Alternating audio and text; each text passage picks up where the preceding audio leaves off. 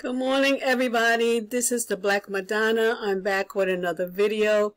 You know you, you guys know that I've just started blogging so I've been making some mistakes but uh, I just wanted to get my get practice with getting the videos out so that um, you know with pr practice you become perfect. Well this video I want to talk about most hated blogger.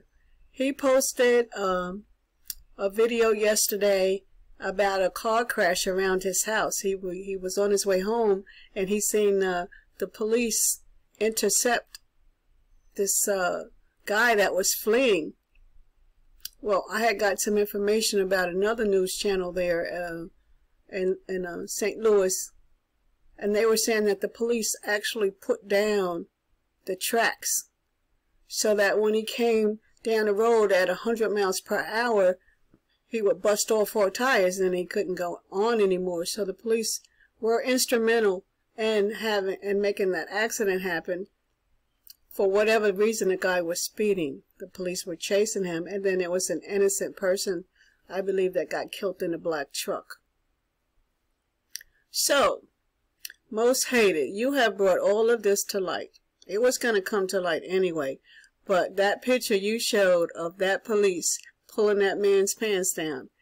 I think since you've been making all these predictions about who is not going to clear 2022, I predict that you may not clear either.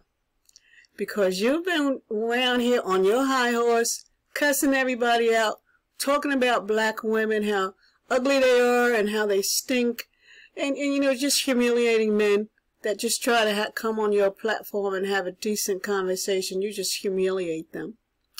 And so you, that's your little common uh, YouTube enemy. But you're playing with the big boys now. And guess what? They're right there in the city where you live at, in St. Louis. Now, these guys may get fired or whatever because you're showing them pulling this man pants down. I think they were around there trying to, I see the guys when the video first come on, when you first start shooting, it looked like the police officers were looking around trying to find something.